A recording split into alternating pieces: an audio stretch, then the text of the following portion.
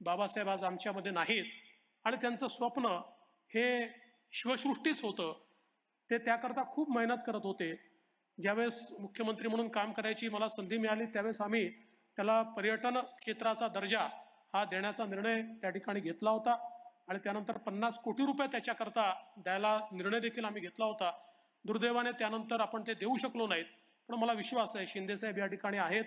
आणि निश्चितपणे राज्य सरकार असेल केंद्र सरकार असेल दोन्हीकडनं आपण याच्याकरता मदत मिळवण्याचा प्रयत्न करू.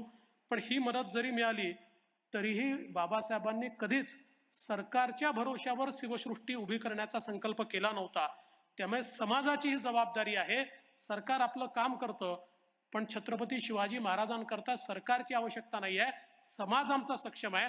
त्यामुळे समाजाला माझं आव्हान आहे की समाजाने हे आपलं कर्तव्य समजून ज्या राजानं आम्हाला जगण्याचा अधिकार दिला आणि ज्यांनी मूलमंत्र दिल्यामुळे आज आम्ही सगळे या ठिकाणी जगू शकतो आहोत आमचं अस्तित्व आहे आमची अस्मिता आहे त्या छत्रपती शिवाजी महाराजांचं संपूर्ण चरित्र सांगणारी ते प्रेरणादायी शिवसृष्टी जी बाबासाहेबांना तयार करायची होती ती शिवसृष्टी तयार करण्याकरता आपण सगळे लोक मिळून याकरता प्रयत्न करूया. समाज उभा राहील समाज ही उभी करेल आणि सरकार निश्चित त्याला मदत करेल असा विश्वास मी व्यक्त करतो.